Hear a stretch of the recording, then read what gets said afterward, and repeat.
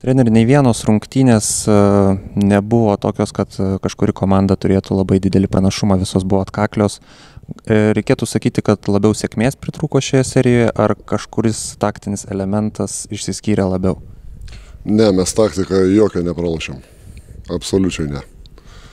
Mes uh, suteikėm varžovėms atitinkamas dovanas, kabutėse, kai išvyko kovo, kovo antrą Benitės, kai dabar likus e, šešiom su trupučiu minutėms iki pagrindinio laiko pabaigos sunkia trauma gavo Dale. E, tai buvo, tai buvo dovanos.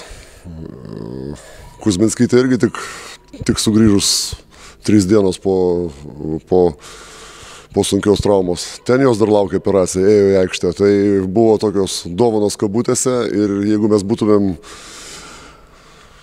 visos pilnos sudėties, čia dar neaišku, kaip čia viskas būtų pasibaigę.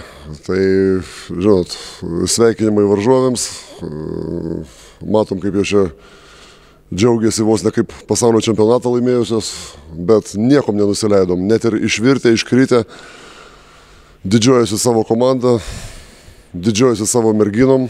Ačiū Jums visiems, kurie buvot šį e, sunkų sezoną visom prasmėm, visom komandom, pandemijos prasme. Teko keistis, daug kur koreguotis planus, būti karantinuose, panašiai, panašiai. Tai, sakau, e, pats, pats jaučiu nuovargį tikrai jaučiu nuovargį, e, atvykus čia dirbti. Per porą sezonų mes su klubu e, neremės iš kailio, kad surinkti, sukomplektuoti kažkokią tai konkurencingą komandą. Aišku, kai kas pavyko, kai kas ne. Labai žinokit, sunku konkuruoti yra su Vilnium, e, su Kaunu, su, su ta pačia Klaipėda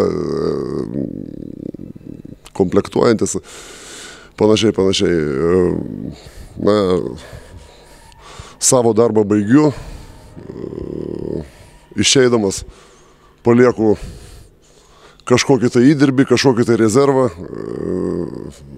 o čia jau klubui spręsti, kaip jis vystysis toliau, galiu pasakyti tik savo nuomonę. Aš manyčiau, kad Šiauliuose galėtų ir turėtų būti stipresnė komanda. Bet čia, žinot, jau reikia ir investicijų ir, ir, ir panašiai, panašiai. Tai dėkui, dėkui Jums visiems.